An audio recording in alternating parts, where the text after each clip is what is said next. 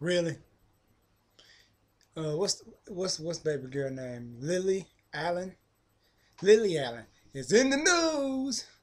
She's in trouble for her new video, Hard Out Here. So I'm just gonna get into it. It's a bunch. It's her and some black girls twerking. I guess you know they saying it's make black women look bad. But put like this: let's read. Let's read. Let's redo the setting of this video. Let's say this was Nicki Minaj, and she had a bunch of white girls twerking. Would it be a problem? Would it really be a problem? It was a bunch of white girls and one uh, or two, like uh, one black there's Nicki Minaj and a bunch of white girls with big old butts twerking. Think about it. Would that be a problem? Nobody would say anything. That's the thing. People get so wrapped up in their feelings and talking about, oh, this is making black women look bad. We got a team. We got a twerk team. We got a twerk team on YouTube. They shake their ass all the time. Nobody says anything about it. But one, Miley Cyrus does it. Well, she kissed him. She kissed him hell.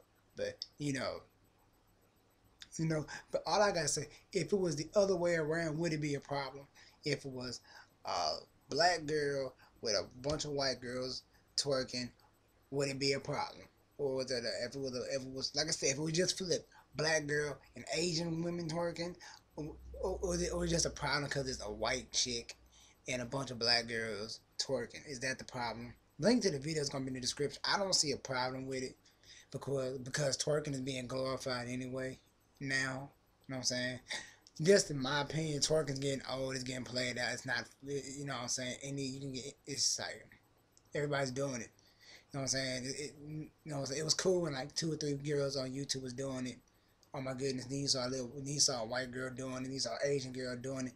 Cool, it was fun. It like you see other people doing it besides black women, but it's not. That's not. That's besides the point. But what I want to know is, do you think if it was the other way around, it would be such a problem? Would it be a problem? Would it? Cause I don't think it would be a problem. I, I think people overlook it. If it was like Nicki Minaj or Beyonce or who's another one out there? Um, what's who's another woman out there relevant?